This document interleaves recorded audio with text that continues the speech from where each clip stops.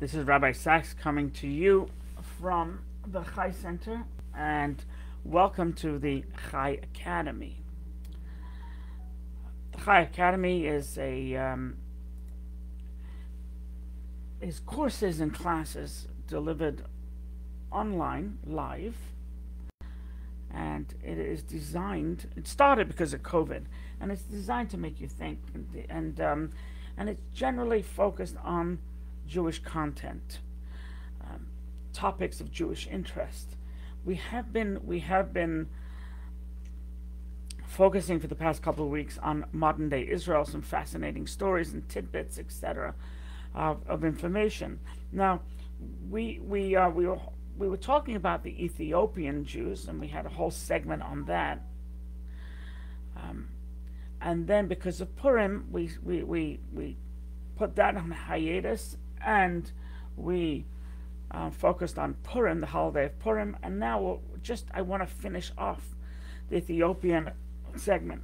So, so Ethiopian Jews, part two. So once again, they're called they're called falashes, um, the homeless one, the homeless ones, the landless ones, and and uh, they they um, they've always claimed they're Jews. They're Jews from the the uh, the um, the children of Dan, one of the original twelve tribes, and the the you know, and we discussed at great length the controversy. I'm not going to go into the controversy now. They're Jews and they're not Jews. Where we left off last time was there was such a thing called Operation Moses. Operation Moses essentially was a clandestine airlift of Ethiopian Jews, either from Ethiopia or from Sudan, and into Israel. And um, it, it, you know, life became somewhat uh, untenable for them, and the the, the you know the the uh, prime minister, the president of the country, was started to target Jews, etc. So Israel got involved, and seven thousand Ethiopian Jews went to Israel. Now, so, some of them actually they, they in order to get to Israel, they, they actually walked through Sudan. They walked through the Sudan and they were able to get to Israel that way. So some from Ethiopia, some from, some through Sudan. And um, but then, as we discussed, a journalist or a couple of journalists in Israel started to comment about the falashas coming to Israel and what an incredible thing it is. So Sudan, Ethiopia were pressured to stop this. No more people going to Israel. Of course, Ethiopia, like like most of the African countries, had aligned with the Arabs, and therefore they were part of the boycott of Israel. And and um, they, they, they, they, there was no, they were ties. I mean, Israel and Ethiopia at one point were, you know, had, were allies, and then Ethiopia severed ties because of the, because of the Arab influence. And um, and Sudan, I don't know if they ever had ties. Of course, Sudan is Omar territory, so enough enough said there. So that was Operation Moses. That's where um, that's when the first Falashes the first, they call themselves Beta Yisrael, the house of Israel. That's when they first came. But then, after that, after, um, there was something, an unknown, and it was only 500 Ethiopians, and that was called Operation Joshua. That was led by the United States. So the United States managed to get another 500 Ethiopian falashes out of dangerous territory and and into, into Israel. And then what most people are familiar with, because it happened later on, it happened in the 90s, is something called Operation Solomon. What Operation Solomon essentially was that they bribed, they bribed officials in order to, per head, price per head, in order to get Jews from the Ethiopian falashes, the Ethiopian Jews, into Israel. Now, the, the, the, reason why it became such a crisis, and the reason why, and I believe it was the UJA raised a lot of money, um, and there were people pouring in money in order to save these lives, is the rebels attacked. They attacked the capital of Ethiopia, right? So Addis Ababa, or Ababa, right? And and um, so they attacked, and the Ethiopian Jews found themselves in dire, dire straits. And um, so the Israel once again got involved, struck a deal with with Ethiopia, and managed to get more more Jews out. It was it was a massive operation, just a massive operation.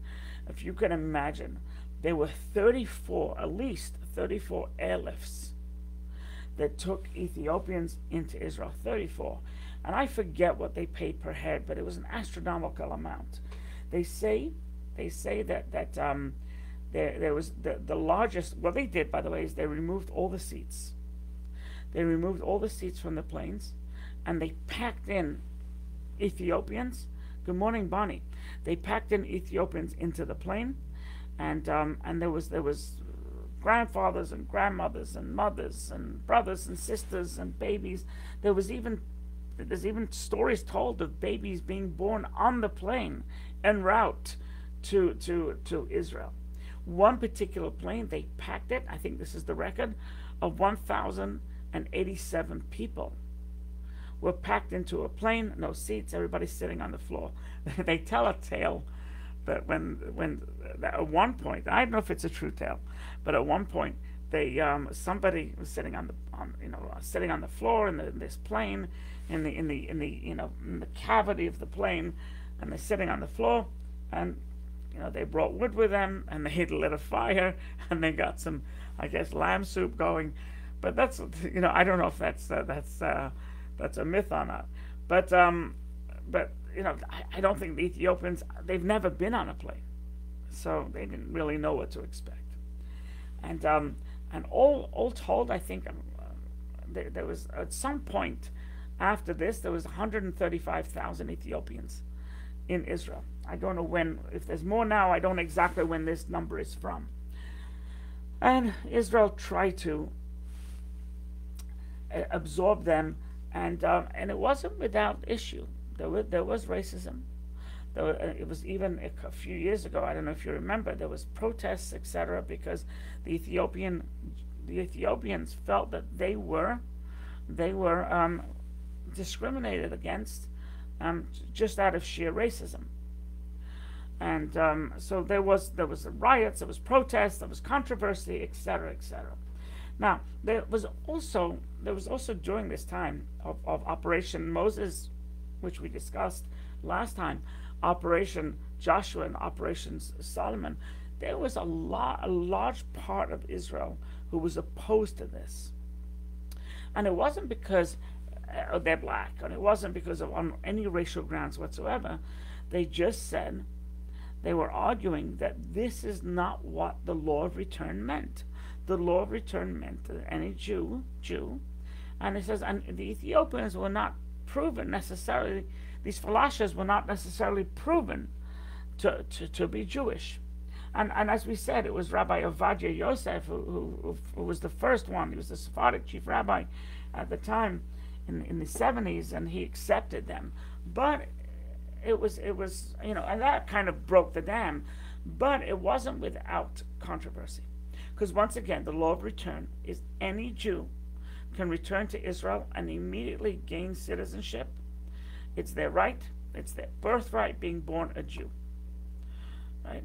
So it got sticky because are the Ethiopians Jews or not? And we discussed there was there was there was um, a lot of controversy. Some people felt they were just being used by Ethiopians who wanted a better life. And, and we know that to be true with Russian. When, the, when there was this Russian influx into Israel, yes, you know, in the in the Exodus in, in, in the 70s, and then of course after after Glasnost and Perestroika and, and Boris Yeltsin and, and Gorbachev and right after that, we know that many Russians, non-Jews, took full advantage of, of clamoring to Israel, claiming they were Jewish, and, and essentially what they did is they, it, it's, which is, I understand why you want to get out of Russia, but the minute you say you're Jewish and that you're accepted, it creates a whole conundrum. It, it, it's, it's a Pandora's box. Who's a Jew? I'm not even talking about the old fight of who is a Jew, which we've discussed. but rather the argument of are these are these people Jewish or they're not Jewish? Some of them were clearly not Jewish. So then, if, if they if they if the rabbis they said, okay, we want to officiate you, congratulations, you're engaged to be married, but we're not allowing you to get married because we don't have document evidence that you're Jewish. And um, and and people had to say, well, my rabbi was so and so, or my classmate was so and so. He can vouch for me. She can vouch for me. Um, my my parents or grandparents are buried, you know, in in in, in here and in there in the Ukraine, and it was it was it was very very difficult. And by the way, it's still difficult today. It's still difficult today that there there are people who specialize in trying to prove genealogy so that certain that these people can be accepted as Jews. Some of them clearly are not. Right? But they're in, they're in, and God bless them. But um, but it, you know, whenever you have, whenever you have confusion, it's never good. So you can welcome them in as, as, as non-Jews, that's great. You welcome them in, in as Jews, that's great. But there was confusion that created that created a lot of issues a lot of animosity, and and um, and until today, I think they they they they they, they struggle, they struggle with it. So Israel, interestingly, like the United States, has become somewhat of a melting pot, right?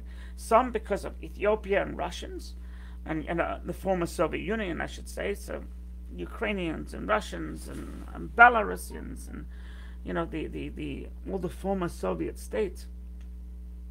But also, Israel is home to many people who made Aliyah. Right? They, they uh, from the United States every year, I mean, a tremendous amount of people make Aliyah. Um, Jew, we're talking about Jews. We're not even talking about non-Jews who made Aliyah, but Jews are plenty made Aliyah. But not only from the States, from the States and from Europe. And, and my opinion on Europe, by the way, that I, I don't understand. Europe has never been good for the Jews. Europe, back then, hundreds of years ago, and even today, it's just not a hospitable place for Jews. And and uh, you know the fact that Jews are, are in France and yet they're not allowed to wear a kippah because it's it's dangerous, or the Jews. Um, you know, in Germany, where, where it's, it's become a very, once again, a very hostile environment, um, it, it's it's I just don't understand Europe. I don't understand why, you know, just let it go, let it go. I understand you have families and business, etc. Um, I was I was traveling once, and it was a stopover for a few hours in Frankfurt, Germany, and um, and we were we were flying from um, I don't even remember flying from somewhere in Europe. Um, I think we flew from, I, I, don't remember, honestly, but we stopped over in Frankfurt, from Frankfurt to the United States. So because it's going to the United States, it was um, stricter security, another set of security. Even though you're in the airport, you got to do security again. And so I was traveling with a few people, and there were, the plane was was a you know the plane was a Delta flight, um, and and uh, it was it was a packed flight. It was a 787, I think, I think maybe it was 747, but there was a lot of people on this plane. We, us few Jews, entered together. And would you know, myself and all my traveling partners were taken into a private room for additional screening. Right? You tell me if Germany's really come a long way. And I said that to them. They said, no, no, it's random, it's random. I said, this is far from random, buddy I told him, you know, so you know, you have to take off your shoes and have to empty your your your your your, your hand luggage and and uh, they wand you down. But you know, and you're in a, you're in a room. It's not just right there and then. No, they take you, they shuffle you off, and it was 100% of our party were taken in for extra screening. Anyway, that that's you know, um, I I I, uh, I try not to buy anything at these airports. Um, so, um, so Aliyah, there was we all know about Aliyah. Aliyah, the, Israel's numbers are, are growing and growing exponentially. So, um, of Jews waiting, wishing, hoping, and finally coming to Israel and making Aliyah. Now, there is something. So we know what Aliyah is. And, and you can go, by the way, you can you, you go to the consulate and um, you fill out some paperwork. You have to get a letter signed by a rabbi. I, you know, I saw you write a letter. And sometimes I get called by the consulate as a double check. But, um, and then, then you're in, you're in, and they, they, you know, they put you in an ulpan and you get there. You know, they, they, it's, it's, it's a, it's a very well greased oil, uh, very well oiled machine. Um, uh, the question is what happens after the ulpan, after. And then you have to find a job. That becomes not so easy. But so in addition to aliyah, there's something called yurida. Aliyah means to rise. Yurida means to descend. And there are Israelis who basically, and there's many of them, that they are considered Yorates. They, they Yored, they descend from Israel. They, they descend. Where are they going? Where are these Israelis going? So, so they're going to the United States. They're also going to Europe, which once again boggles my mind. They're going to South Africa. They're going to Mexico, and um, and and they, they they they go. They go. They travel. Um, it's it's so if Israel has six million Jews, an argument right now, an argument could be made that Israel would have had seven million Jews. So close to 10, uh, over 10% of, of, um, of Israelis moved out of Israel. Right? And I remember I was in a taxi in Yerushalayim and in Jerusalem, and the taxi driver said, and he was talking to me, and he was yelling, screaming, he was very passionate. Goes, Where are they all running? A million Israelis. Where do they go? Why are they running? They're running, they're leaving Israel. Ah, it's terrible. Now, um, they they, they um, I think they I think they're they're running first of all for a few reasons. One is that they um, and they're viewed as deserters by by by the Israelis. They're not viewed with a kind eye. But some of them are moving because um, it, it's economic reasons. United States is, has more economic opportunities than Israel. Israel is kind of still less so, but it, it was, but it was in the 60s. It was more of a socialist type of economic structure. So so so they're leaving, and and uh, they came to the land, right? The, the the land of opportunity. They came they came to the golden Medina, um, which is the United States. Interesting to note when they come here. Secular Israelis do not involve themselves for the most part in Jewish life. They don't secular Israelis hang out with other secular Israelis, and they don't really belong to a community. It's just an, inter- an interesting, um, an interesting. Whereas the more of the, the, the less secular Israelis, they they will join a community, they will find their place, um, and and they will become part and parcel of the fabric of the Jewish community. Where secular Israelis, the the closest they get is they they will uh, you know choose a favorite Israeli restaurant that they can hang out in with their friends. Um, so they come for for economic reasons. They come for opportunity.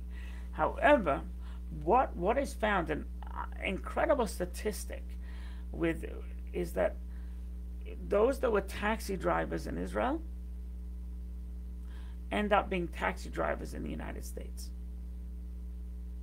And there's this famous, famous story with um, Golda Meir, the Prime Minister of Israel. She was in the United States visiting, and she went into a restaurant. Uh, she didn't keep kosher, and she went into a restaurant. And Israeli waiter that was serving her, he told her in Hebrew that there's some some ham. Be careful because there's ham in the ingredients. So she she looked, and, and she probably didn't eat ham. So she looked to the Israeli, um, and she said to him, you know, you're from Israel? He goes, yes, I'm from Israel. She had this conversation, and she goes, you're a waiter in the United States? He goes, yes, I'm a waiter here. And she said, what did you do back in Israel? So he looks at her and goes, I was a waiter. So that's just an interesting tidbit. The waiter there, waiter here, maybe it's better tips. Who knows? I don't know. Um, generally in Israel, they're not that big in tipping. Like if you ask somebody what should you tip, like the taxi driver, they go, "What are you crazy? You tip? You don't tip. It's not our culture to tip. Restaurant, not a culture to tip. Changing a little bit." Um, and it's not just, by the way, taxi drivers and waiters that come to, to, to, to out of Israel. It's also professors, doctors, academia. You know, they leave because there's more opportunity here to, to, to explore. Um, but another reason, to be fair, another reason is is this Israeli-Arab conflict. It gets tiring. And um, and of course, there's this this draft. There's the mandatory draft that you, you know, from 18 to 21, you three years you're in the army. That means you have to um, suspend your, uh, you know, college. So and then you have so most Israelis to the army. They're loyal. They don't want to desert. Um, so they go to the army, but you're not done because until uh, you know for the next for the next uh, you know till your 40s, you have something called miluim, reservists. Once a month, oh, sorry, one month a year or three weeks a year, you got to report for duty. Uh, you know, and that, so Israel, they, they factored that in with your job, etc., and you can't be penalized. It's like jury duty here, but it's every year. And, um, and uh, they don't want to do that. And we find, just as a, a parenthetically, is that when Israelis, when they finish with their three years, and even though they're planning to go back to Israel, they get out. They they leave, and they go where the cheapest place their their their shekels go. They go to South America. They go to Kathmandu, Nepal, Thailand. That's why there's all these tourists. You know, there are hundreds of thousands of tourists that generally they're Israelis that just got out of the army, and they took a break before they go back to to school or to work. Um, when the economy is bad in Israel, they bolt. You know, I remember seeing a cartoon, and you probably saw it too. It's a very famous cartoon, right? And that is, it's it's in Ben Gurion Airport. There's a long line of of Israelis in this cartoon waiting to get on to get through through uh, you know onto a plane through immigration, etc. And the last guy in the line is being spoken to by the second to last guy in the line and he turns to him and says, "Last one out, shut the lights," right? Because there was such such a mass exodus. When and, if you remember, I mean, the the the, the, the shekel was so. Um, you know, and then the, the 60s and the 70s, the shekel was in was in the 70s. Oh my goodness, the shekel was in dire straits. In fact, so much so that the the, the currency they have today is called shekel chadash, the new shekel, because the old shekel wasn't worth anything. You know, it was like 17,000 shekels for a dollar, or, you know, or, or, more, I don't know. So um, then there was a mass exodus. Another interesting tidbit is that you ask, you ask most Yordim, you ask most Israelis that have, have, have, have come down, you know, left Israel, and they come to the United States, and they'll tell you, no, no, no, I have plans. I'm. It's only temporary. This is only hiatus.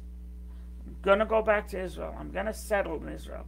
And they, you know, here they are. They're 45 with the, with the two, three kids, and they still tell you, B'ezrat Hashem, we're gonna go Israel. I'm gonna go back. I'm gonna leave in leave in Netanya. I'm gonna leave in Herzliya. I'm gonna live in Tel Aviv. I'm gonna live here, there, and the other. Have an apartment that I'm renting out to somebody, I'm going to go back. So it's a, a, kind of eight out of ten tell you they're going to go back. The other, the other two out of ten, the other twenty percent, are kind of more realistic and they see themselves as a permanent home where they are. But even the ones who've been living here for years and they have citizenship, here they um they, they still tell you that their ultimate plan is to go back to the promised land is to go back to the Holy Land of Israel. What is that? What is that? So, uh, my opinion, I opine here, is that it's a soul level, right?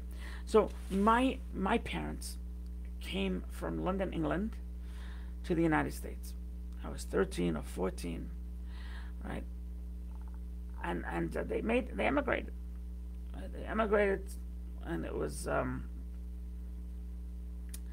um, Reagan was president, and um, and and they emigrated to the United States. I've never heard them once say our plan, our ultimate plan is to go back and and uh, live in London, North London, East London. just just it's not there. But Israelis, they're funny. They're funny. Their ultimate plan, their penultimate plan, is that we are going back. And my answer to that is Amen. Amen. Um, they, they, they, they should go back. Um, it's, it's nice. It's nice. You know, it's, it, there's, you know, there's one Jewish homeland. Why not? God bless. You can find any questions, rabbi at thechaicenter.com. You can also uh, you can also uh, ask a question here, and we'll attempt to answer until we meet again.